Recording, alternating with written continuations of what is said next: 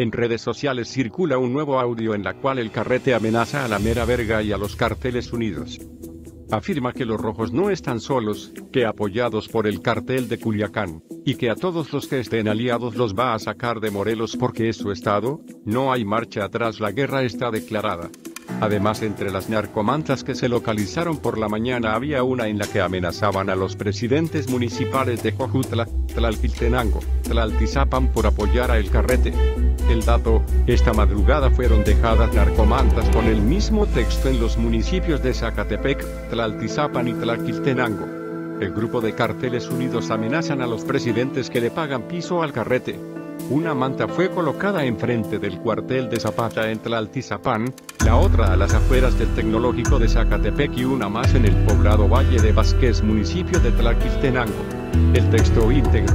Esto va para toda la ciudadanía y presidentes municipales que le estén pagando piso, al punto del carrete, se los va a cargar la verga si siguen pagando piso como Juan Ángel, Jorge Maldonado y Juananis, ad la mera verga. Más información en el blog del narco.com.